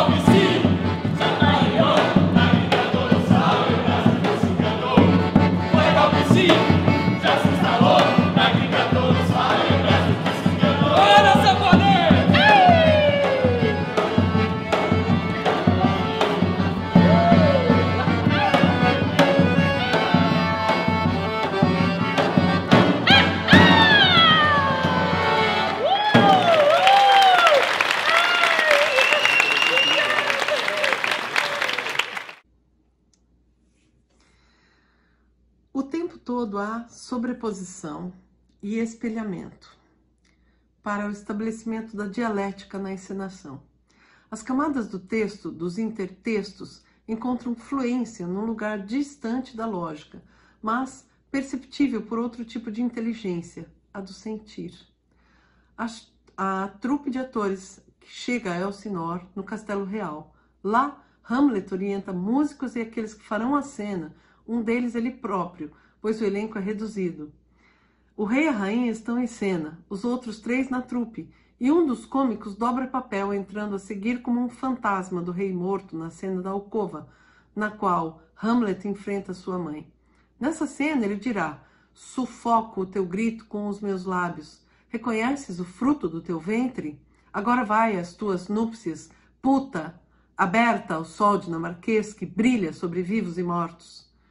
Quero enfiar o cadáver para dentro da cloaca, de tal modo que o palácio sufoque em merda real. O texto é extraído do final do primeiro ato, ou da primeira parte de Hamlet Machine, mas ele entra num ponto cego, vindo imediatamente depois das linhas. Senta aí, pois eu pretendo torcer teu coração se ainda tiver substância penetrável. Fala do, essa fala do filho, é, a rainha, a qual ela responde: O que foi que eu fiz para tua língua vibrar assim? Essas linhas são de Shakespeare. E as que vêm depois das de Miller também são do poeta inglês. Depois de ter dito à mãe que deseja que o palácio sufoque em merda real, Hamlet vê o pai e diz: O que espera de mim, graciosa figura? A mãe dirá que ele está louco. O ponto cego interessa à minha proposição de encenação. Quando estamos dirigindo um carro, por exemplo, às vezes olhamos para um lado, olhamos para o espelho retrovisor, não vemos nada. Então, fazemos a conversão à direita ou à esquerda, e pá! Lá está o encontro com o inesperado, o acidente, o atropelo, o ponto de colisão, de encontro. O tempo todo na realização da adaptação de Hamlet e Hamlet Machine para Hamlet Ex Machina, busquei esse ponto em que os opostos, de modo estranho e fortuito, criam uma terceira possibilidade que possa ser multiplicada ainda que seja a ruína, a destruição. Há alguns exemplos que ficam mais claros na sintaxe do texto, outros na escrita da cena ou da música, o que vocês poderão acompanhar assistindo aqui nesse canal a palestra do meu parceiro Bruno Torrano, o músico do 42 Coletivo Teatral. Quanto ao texto, seleciono mais um exemplo. No início, ainda no álbum de família em nossa montagem, o coro diz: Ele se deitou no chão. Ele se deitou no caixão e ouviu o mundo girar ao compasso da putrefação. Hamlet responde: I'm good Hamlet. Give me a cause for grief, at the whole globe for a real sorrow. Richard III, I, the prince killing king. Oh, my people, What have I done unto thee? Como uma jorba, arrasto el peso de mi cerebro payaso suplente en la primavera comunista. Something is rotten in this age of hope. Age of hope. Age of hope. Let's delve in earth and blow her at the moon. Então entra o fantasma do pai, também representado pelos atores do coro, e diz: Hamlet, I'm the ghost of your father. A fala se repete em alemão. Ich bin der Geist deines Vaters. E depois retoma a tradução para o português, não sobre a mesma linha. Hamlet, se algum dia você amou seu pai, vinga esse infame assassinato. No texto de Müller, algumas linhas estão em inglês. I'm good Hamlet, a cause for grief, and the whole world for real sorrow. Richard III, I, the prince killing king, oh my people, what have I done unto thee? Aí ele volta ao alemão, no caso aqui voltaríamos ao português. Como uma corcunda, vou carregando meu pesado cérebro, segundo palhaço na primavera comunista. E então volta ao inglês. Something is rotten in this age of moon. A colisão acontece na fluência entre a língua espanhola e inglesa, em fluxo contínuo e também na sonoridade do espanhol, quando a língua é idêntica à brasileira, como em A Primavera Comunista. Depois houve resgate e troca no lugar de Age of the Moon. Utilizamos Age of Hope, triplicado, e depois Let's Delve in Earth and Blow Her at the Moon, uma referência a Hamlet, terceiro ato, quarta cena, versos 210, 211, exatamente quando Hamlet fala com sua mãe sobre Rosencrantz e Guildenstern e as maquinações daqueles.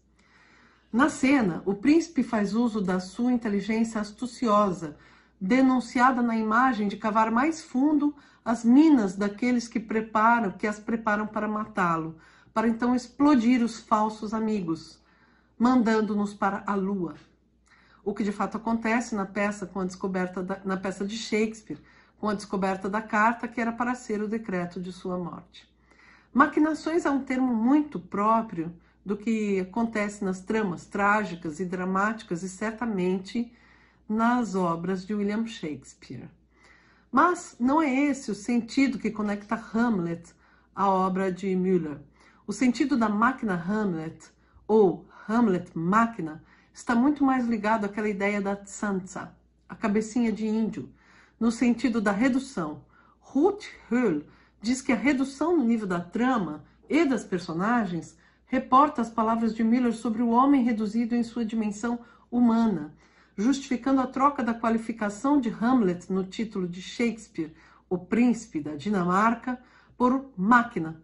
Segundo Rainer Müller, aqui citado por Hull em entrevista registrada em 1892, a máquina constante no título foi-lhe inspirada pela obra de Duchamp, na qual queria com a qual queria ilustrar o volume Shakespeare Factory.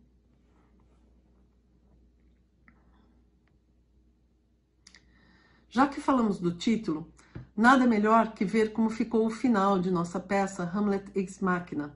E ainda depois podemos voltar a esse ex ou ex colocado no título, já que estamos aqui a tentar recuperar nosso caminho de descobertas para a proposição da adaptação, erigida nas colisões feitas das ruínas e dos sons, dos ecos do passado empoeirado desde os, os anos 1600 e dos ecos das bombas e da destruição causados pelas guerras mundiais do século XX. O público entra ao som das ruínas e das manifestações políticas do nosso tempo. Bombas, sirenes, fumaça. Os atores estão estirados no chão, o teatro está morto. Não, congelado, desde a era glacial evocada na imagem de Müller. Mas com a chegada do público algo acontece e Hamlet desperta do seu sono e solta a primeira linha do texto em alemão. Ich war Hamlet. Eu era Hamlet. Ofélia, solta do lado de fora do bunker, morta do lado de fora da vida, responde, indo ao encontro dele: blá, blá, blá. Atrás de mim, as ruínas da Europa, da democracia, do mundo globalizado contemporâneo. Esse mesmo blá, blá, blá será retomado ao final do espetáculo quando Hamlet, já envenenado, vai até o espectador Horácio e diz: chega de blá, blá, blá, porque o resto não pode ser silêncio. Sempre sofri um certo incômodo com o final de Hamlet, que na verdade sempre achei desnecessária a entrada de Fortinbras. Sempre desejei ver o pano cair sobre o abraço de Hamlet e Horácio. Ali não há cabeça de Macbeth rolando em cena, nem pais arrependidos diante dos corpos mortos do jovem casal de apaixonados. Apenas um monte de corpos estendidos no chão, a ruína do reino da Dinamarca. Fortinbras não vem como um redentor, apenas pontua com os canhões que explodem, indicando um novo alvorecer. O que resta no final da tragédia Hamlet é a incompletude e uma incômoda sensação de que aquela peça não deveria acabar assim, ou de que a nossa história, a história da humanidade, poderia merecer uma nova chance, diferente daquela que entra em cena com Fortinbras. A morte leva o jovem príncipe como um dia levará a todos nós. Mas o que sobra? O que encontramos quando a morte adentrar nossos dormitórios? Por que será tão incômodo esse lugar? esse lugar da melancolia. Harold Bloom diz que a peça está para além do drama, porque é poema ou metapoema. Cabe considerarmos que se na épica o grande protagonista é o tempo, no drama, os relacionamentos sociais, na lírica é a morte que assume o centro da cena. Assim, parece fazer sentido considerarmos tanto a peça quanto a personagem como meta poema e meta poeta. Hamlet não se realiza no amor, talvez porque, para Hamlet e para Ofélia, num mundo onde reina o crime, não há lugar para o amor, como diz Ian Cott. Tampouco assume o seu lugar social, o príncipe não quer ser rei. Seu único desejo, expresso a Horácio nos últimos instantes, é que seu nome e sua história a ele sobrevivam. Ou seja, uma aspiração comum aos poetas. O que deseja Hamlet? Nada Cumprir seu destino como um títere manipulado pelo fantasma do pai? Há muitas leituras de sua tragédia feitas à luz de Freud. Bloom diz que algo está morto no coração de Hamlet antes mesmo do início da peça. O que será esse algo que está morto no coração dos poetas? Será ele sabedor do construto de seu próprio destino? Aquele que tem no peito o que não passa? Será que ele intui? Talvez haja algo do nosso conceito do que seja fáusico nisso. Pois o poeta morre um pouco a cada dia sentindo a dor fingida, construída.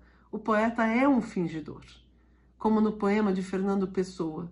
Ele finge tão completamente que finge ser dor a dor que devera sente. Esse sufixo OR no português brasileiro costuma designar profissões: ator, professor, cantor, encanador. O poeta é como Hamlet, um profissional do fingir, como Hamlet, como Shakespeare, e talvez como Müller, Isé Celso, Marcio Aurélio, ou eu, nós, vocês. Lembramos aqui, ainda uma vez mais, a fala I'm good Hamlet, give me a cause for grief. Oh, the whole globe for a real sorrow. Globe é também o nome do teatro onde Shakespeare montava suas peças. Ruth Hull lembra que este tinha por insígnia a figura de Hércules sustentando o globo terrestre e a inscrição das palavras Totus Mundus Agit Strionem. Strionem. Ou seja, o mundo todo representa. O que me encantou na obra de Fauserap, em especial em Mare Nostrum, é justamente a forma como ele elabora, ele elabora a incidência da arte sobre a vida dos artistas. Sigamos. Na segunda parte, temos a Europa da Mulher, um ato protagonizado por Ofélia, desde Miller, e que para nós entra na peça depois do quarto ato, cena 5 de Shakespeare, na qual, no qual Laertes volta do exterior e encontra sua irmã louca. Na cena, a personagem vive seu afogamento simbólico envolta num véu, embalada por uma canção que consta no texto original inglês, que estudamos através da partitura presente em William Shakespeare, Canções Originais de Cena, um livro, um livro publicado é, de Karen Zwilling. Vamos à cena. and the life of an old man. as fragile as the mind of a young lady. Friend, I swear unto you that your madness will be paid in weight until the justice bends to our side.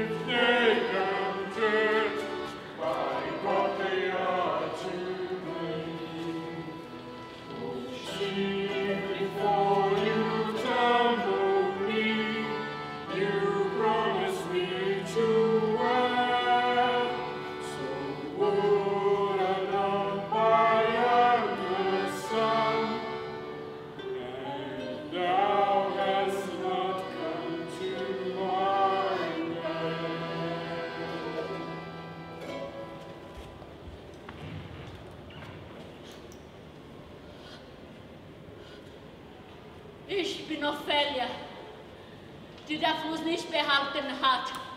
Eu sou Ofélia, aquela que o rio não conservou. O segundo ato de Müller, A Europa da Mulher, é composto de um fragmento que contém apenas um parágrafo, que termina com linhas. Toco fogo na minha prisão, atiro minhas roupas ao fogo, exumo do meu peito o relógio que era o meu coração. Vou para a rua vestida em meu sangue.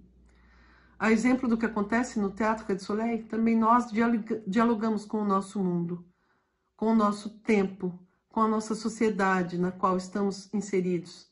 E é necessário dizer que no dia em que Marielle Franco foi assassinada, 14 de março de 2018, estávamos em cartaz, no decurso de nossa terceira temporada. Queríamos ir às ruas, sair em protesto. Reunidos, decidimos ficar no teatro e fazer daquela noite e das próximas um grito também por ela. E desde sempre contra a barbárie, contra o feminicídio, contra o desmonte da cultura e da educação em nosso país.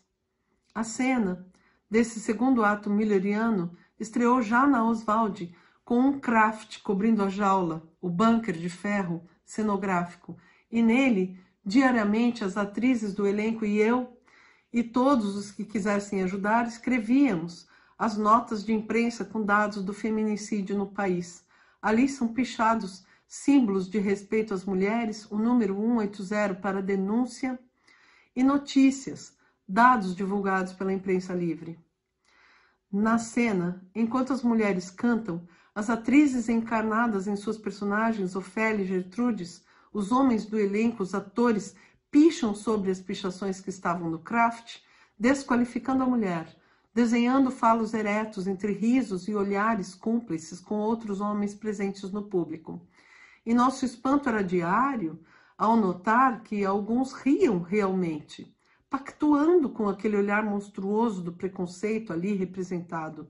A ascensão da extrema-direita do lado de fora do teatro fez com que ficassem ainda mais tenso o clima dentro dele.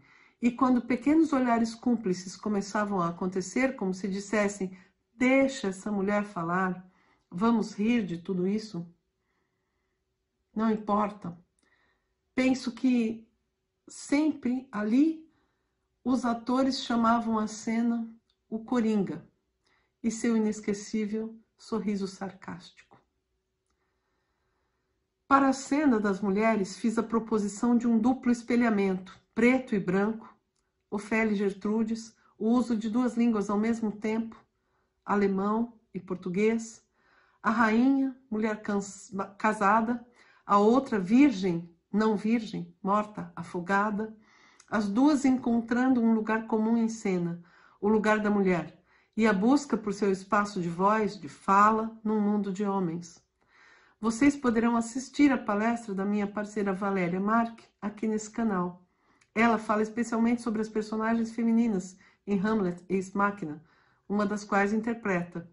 A fala Vou para a rua vestida em meu sangue compõe imagem literal na cena, com o sangue que sai do meio das pernas das duas mulheres e que é lambido, degustado por elas, que estão em cena e vão às ruas para fora do cenário, no bunker, gritar sua canção, fazer seu protesto junto do espectador. Na primeira, na segunda e na terceira temporadas do espetáculo, levamos uma canção nessa cena, que foi refeita na quarta temporada. A nova busca foi necessária, pois procuramos tornar a cena mais orgânica, a voz mais visceral, o que acabamos encontrando na composição feita pelo músico Bruno Torrano, com um processo colaborativo na letra, composta de palavras de todas as mulheres do coletivo, e que gostaríamos que tivesse resultado na forma de uma slam de poesia, o que não sei se atingimos completamente, penso eu, mas de todo modo estamos a caminho, em constante busca. Escancar as portas para que o vento possa entrar e o grito do mundo despedaço a janela e com as mãos sangrando eu rasgo as fotografias dos homens que amei e que se serviram de mim na mesa, na cama, no chão. Eu toco fogo na minha prisão, eu atiro minhas roupas ao fogo, eu exumo meu peito o relógio que era o meu coração.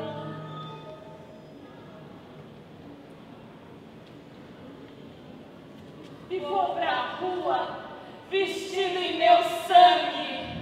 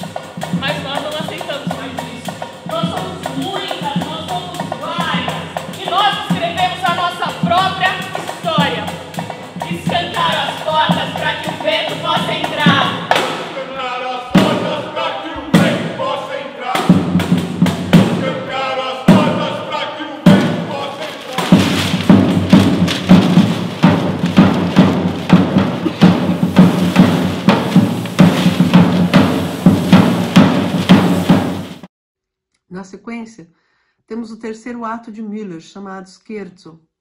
O termo vem da palavra italiana e geralmente na música é aplicado ao movimento mais vivo e alegre de uma sonata, sinfonia ou quarteto de cordas. O scherzo caracteriza-se por um ritmo acelerado e vivo, pela repetição constante dos temas. O scherzo também pode ser uma movimentação uma, de uma peça maior, um movimento numa peça maior, como uma sinfonia. Ele destaca uma parte mais leve, um movimento mais rápido, e está quase sempre na segunda ou terceira parte da peça, como em Rainer Müller. Uma tradução da palavra italiana para o inglês seria joke, piada em português. A terceira acepção da palavra, como consta no dicionário OAIS, aponta para peça orquestral independente. Quase poderia ser lida também como um entreato, uma separação entre álbum de família e Europa da Mulher e as duas outras partes finais. No processo de ensaios para o scherzo, cheio de imagens provocativas e às vezes cifradas, buscamos vários caminhos, inclusive o audiovisual. Os atores fizeram proposições com o filme do Balé das Mulheres Mortas e da Universidade dos Mortos. E as imagens eram bastante interessantes. Acredito que, de uma certa forma, elas foram carregadas à cena, mas acabamos não utilizando vídeos. Sim, há muitas encenações das peças de Rainer Müller que fazem uso dessa técnica, mas não foi o nosso caso. A cena 3, segundo Ruth Hull, é considerada por vários críticos a mais difícil de todas, como cena central da peça, equivalente ao terceiro ato no drama. Ali parece estar a poética teatral da peça, como diz Hull. É centrada no grotesco, princípio estético da mescla de elementos heterogêneos, motor da força explosiva do paradoxo, ao mesmo tempo aterradora e ridícula. Um dos traços do grotesco é a substituição e é precisamente a substituição do coração por um relógio, que Meyerhold cita em suas considerações como grotesco moderno. É como se a cena realmente manifestasse o prazer do teatro, que denuncia a impotência da crítica intelectual e das teorias em face das tragédias do palco e da vida. Em nossa versão, a do 42 Coletivo Teatral, isso já aparece prenunciado na cena anterior, Heiner Müller parece querer provocar o sentir, e concordamos com ele. E aí está a chave do eis, colocado entre as palavras Hamlet e máquina, em nossa encenação. Antes, no entanto, ainda sobre o sentir, sobre o teatro dramático ou pós-dramático, façamos uma reflexão. Na cena anterior, a Europa da Mulher, quando Ofélia está só, dizendo ontem eu deixei de me matar, é quase interrompida por Hamlet, que do lado de fora do bunker faz sua voz soar através de um megafone embalado em passos e marchas de passeata de rua. Ele diz: O lar é o palco do drama. Não precisamos mais do drama. Nossas tragédias, nossas tragédias, nossas tragédias são diárias.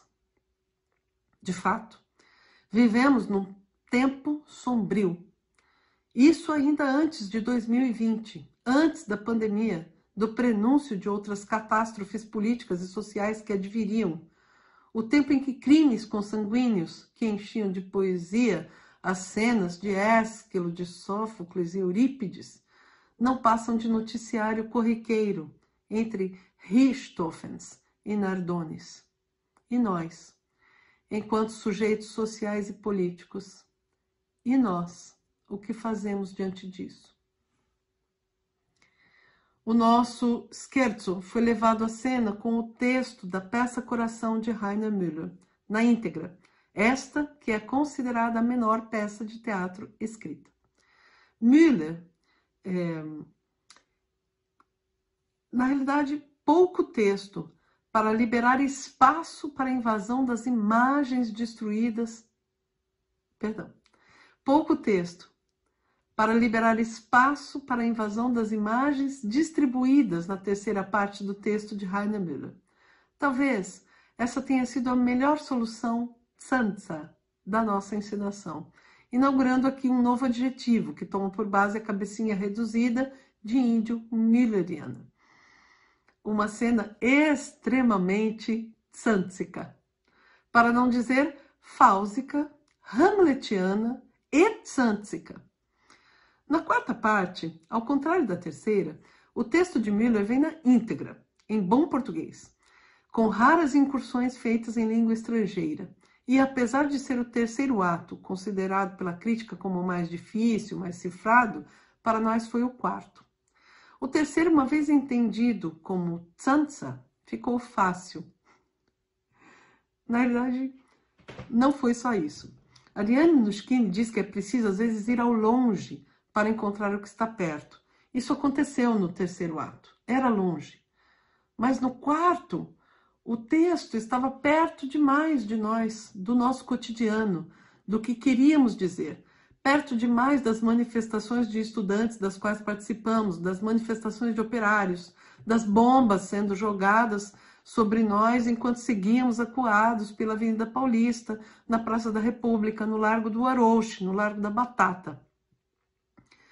O nosso quarto ato começa com som, bombas, sirenes, explosões, gritos, guerras, sons de guerras urbanas, nacionais e mundiais. Som, somos levados sonoramente, reconduzidos ao cenário do primeiro ato, no momento em que o espectador entra, quando os atores estão estirados no chão do bunker cenográfico. Então vem o texto, dito por Hamlet, depois dividido entre os atores. O forno fumega nesse outubro sem paz, nesse maio sem paz, nesse junho, julho, agosto, setembro, outubro, novembro, dezembro, janeiro, fevereiros, marços, sem emprego, sem aposentadoria, sem dinheiro, sem democracia, sem dignidade, sem educação, sem cultura. A pátria é uma vergonha nacional. O coro responde: A bad cold he had of it, just the worth, just the worst time of the year for a revolution. E Hamlet responde: Não, esse é o melhor momento para uma revolução. Greve geral. Ele tem uma visão. Quer saber? Ele tira a máscara e a indumentária. E, e então ele é o intérprete de Hamlet. E ele diz: Eu não sou Hamlet. Não represento mais nenhum papel. Minhas palavras já não me dizem nada. Os meus pensamentos sugam o sangue das palavras, das imagens. Meu drama não se realiza mais. O texto a seguir, que seria um longo monólogo do ator que interpreta Hamlet, passa a ser de todos, cada qual com sua parte. Abre aspas. O meu drama, se ainda tivesse lugar, realizar-se-ia na época da revolta. A rebelião começa com um passeio contra as normas do trânsito no horário de trabalho. A rua pertence aos pedestres. Aqui e ali, um carro é virado. Pesadelo de um atirador de facas. Lenta travessia através de uma rua de mão única na direção de um parque de estacionamento irrevogável que está cercado por pedestres armados. Policiais, se estivessem atravessados no caminho, são arrojados no acostamento de rua. Quando o cortejo se aproxima da sede do governo, é barrado por um cordão de policiais formam-se grupos de onde emergem oradores. Na sacada de um edifício governamental, aparece um homem com um fraque mal talhado e começa igualmente a discursar. Mal a primeira pedra o acerta, também ele se esconde atrás da porta de dois batentes de vidro blindado. O apelo por mais liberdade transforma-se em grito pela derrubada do governo. Começa-se a desarmar os policiais. Toma-se de assalto dois ou três edifícios, uma prisão, uma delegacia de polícia uma agência da polícia secreta. Penduram-se pelos pés uma dúzia de homens fortes do poder e, e, e o governo põe tropas nas ruas. Tanques. O meu lugar, caso o meu drama tivesse sido realizado, seria dos dois lados da frente, entre as frentes, acima delas. Mein Platz, wenn mein Drama gemacht werden worden wäre, perdão, Mein Platz, wenn mein Drama gemacht worden wäre, wäre auf beiden Seiten der Front sein, zwischen den Fronten, über ihnen. My place, had my drum been made, would be on both sides of the front, between the fronts, above them. Encontro-me no cheiro de suor da multidão e jogo pedras em policiais, soldados, tanques, vidros à prova de bala. Espio pela porta de vidro blindado aglomerada que se aproxima e cheiro o meu suor frio. Sufocado pela ânsia do vômito, agito meu punho contra mim mesmo. Eu que estou de trás do vidro blindado, nós que estamos detrás do vidro blindado. Agitado pelo medo e pelo desprezo, vejo uma multidão que se aproxima, minha boca espumando, agitando meu próprio punho contra mim mesmo. A questão ali era como representar o que estávamos vivendo do lado de fora do teatro. A cada vez que eu olho para essas linhas, e isso acontece ainda hoje, no momento em que elaborei essa palestra, eu acredito desacreditando que foram escritas por Heiner Müller em 1977, pois parecem ter sido escritas por nós, do 42 Coletivo Teatral, para a encenação de Hamlet Ex Machina, e às vezes duvido que sejam do autor. Claro que isso é uma piada, mas eu devo dizê-la com espanto, terror e verdade, em sua significação mais profunda e não imediata. Demoramos a encontrar a forma ideal para essa cena. Fiz alterações em todas as temporadas. Experimentamos com cada espaço cênico que ocupamos, com cada novo ator que entrou para o elenco assumindo para si o papel que havia sido de outro. Agora que estamos trancados em nossas casas, confinados devido à pandemia, a cena me parece mais teatral, pois as explosões no Largo do Aroche, no Largo da Batata, a possibilidade de sairmos às ruas em grandes aglomerações nesse momento virou passado. E o distanciamento temporal faz com que ela não seja tão presença de realidade no palco, como a época em que encenávamos a peça, mas como uma alegoria desta. A cena termina com uma fala solta dita pelo coletivo de atores. É preciso transformar todas as relações em que o homem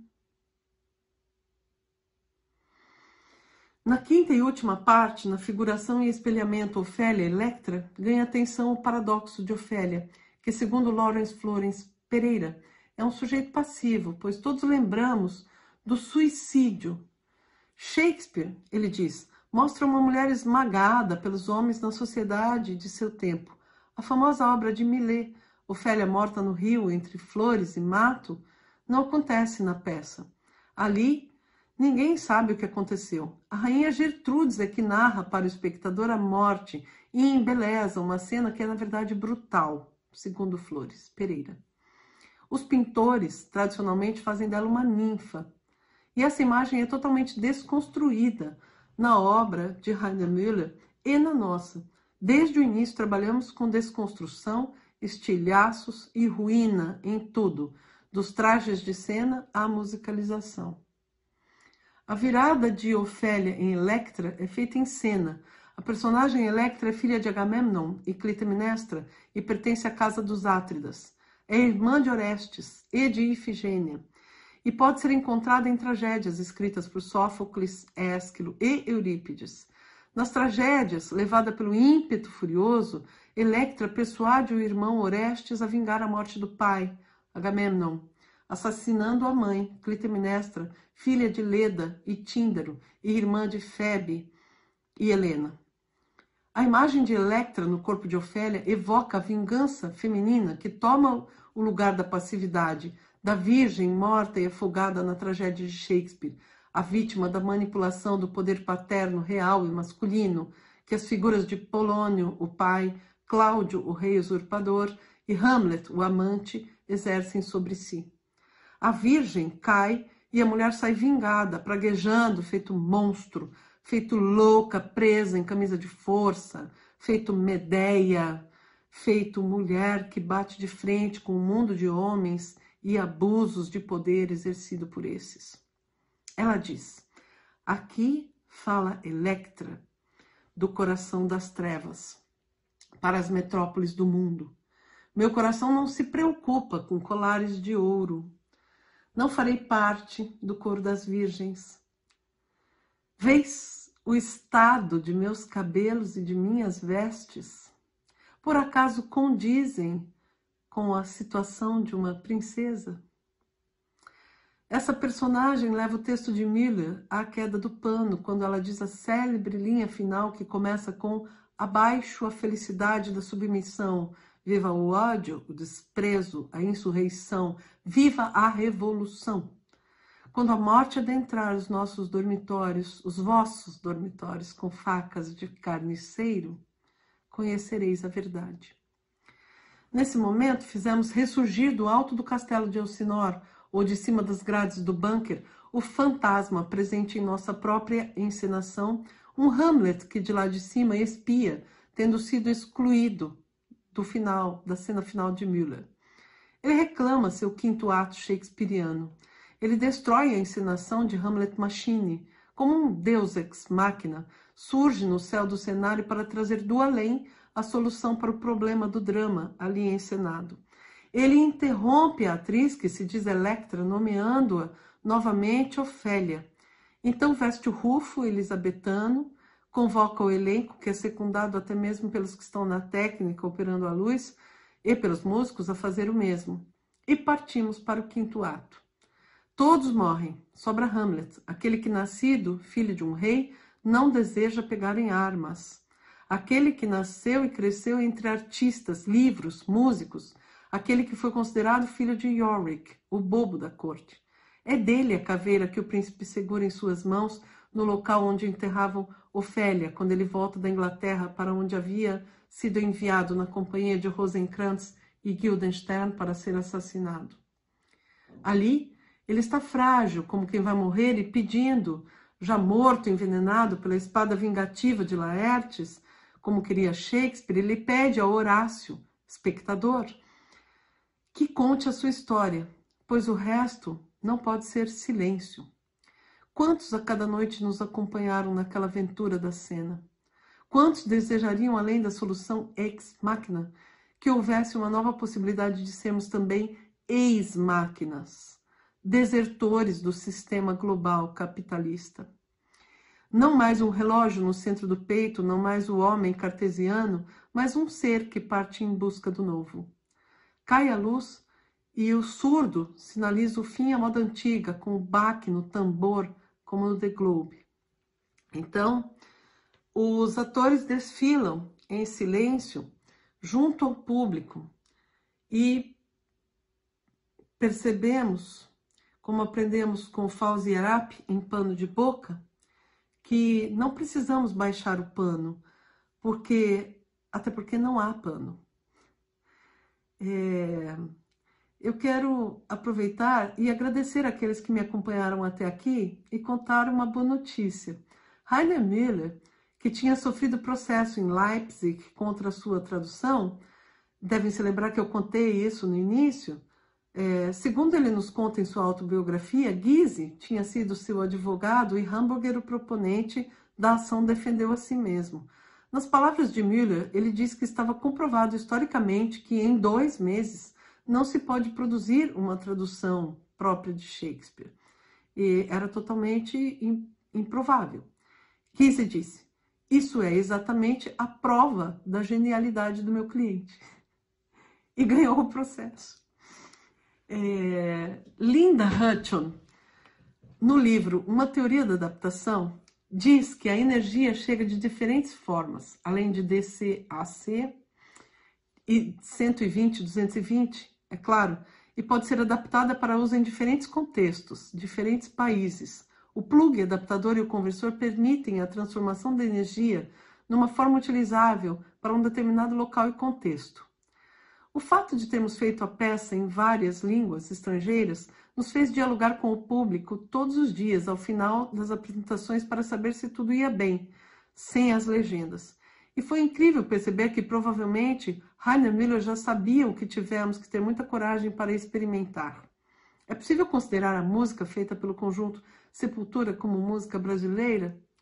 Se acompanharmos a crítica desde o surgimento da banda, vamos encontrar respostas interessantes. Será nosso espetáculo popular acessível, mesmo sendo falado em língua estrangeira? Imagino que essa e outras questões ainda encontrem lugar e possam despertar o seu interesse. Então, recomendamos a leitura do, li do livro Literatura e Teatro Encenações da Existência, organizado por André Dias e Ellen de Medeiros, no qual há um capítulo especialmente dedicado ao nosso Hamlet ex-máquina. De Shakespeare a Heiner Müller, Variações na Cena Hamletiana em São Paulo, 2017, escrito por Mayumi Denise e Lari, a quem queremos agradecer. Também lembramos os nomes de Cláudia Dornbusch e Maria Silvia Beth, que compartilharam seus saberes com suas presenças junto da de Mayumi na segunda noite de debates que realizamos na temporada do Centro Cultural São Paulo. Eu quero agradecer também a todos os que fizeram parte do processo de ensaios e apresentações desde o primeiro dia até aqui. E também aqueles que nos apoiaram, como puderam. Sim, Rainer Müller tem muito a dizer ao nosso tempo. Espero ter colaborado de alguma forma com vocês e fomentado novas reflexões que possam dar origem a ações, debates, peças de teatro. Acho que não podem calar a nossa voz, não enquanto tivermos a coragem de desenterrar os fantasmas de nossa história e olhar para eles de frente. É, por fim, é, eu queria dizer que para mim uma, uma coisa boa que nós é, que eu gosto muito de lembrar do Hamlet ex machina é a compreensão de que o coração dos ingleses, né, no tempo do Shakespeare, batia no ritmo do verso iâmbico, né? o metro, a marca do metro do verso para os ingleses. E é, eu consegui, de alguma maneira, entender que o nosso coração brasileiro bate ao ritmo de Noel Rosa, ao ritmo do samba, do morro. É, e eu propus isso é, aos músicos na trilha sonora. Né? E um momento que eu me lembro do espetáculo com muita alegria e que eu dividir isso com vocês é o momento em que o Hamlet diz, depois do rei Cláudio ter visto a pantomima, né, que nós fazemos com um pequeno aquário, com peixinhos sendo manipulados, e o rei Cláudio não suporta ver aquele teatro né, feito denunciando a corrupção e diz: chega, né? E, e o Hamlet é, comemora, né? E ele diz que, porque eu sou o samba, sou natural daqui, da Dinamarca, sou eu quem leva a alegria aos corações dinamarqueses. É, e aí entram os músicos, né? É, e, e, o rei e a rainha, os músicos entram cantando, eu sou samba, sou natural aqui da Dinamarca, sou eu quem leva a alegria. É, e o rei e a rainha entram é, dançando a meia volta, né? Shakespeareano, uma dança do tempo de Shakespeare. E as coisas parecem é, combinar dessa maneira, é, que faz colidir os dois tempos e criar uma coisa nova. Muito obrigada e até a próxima.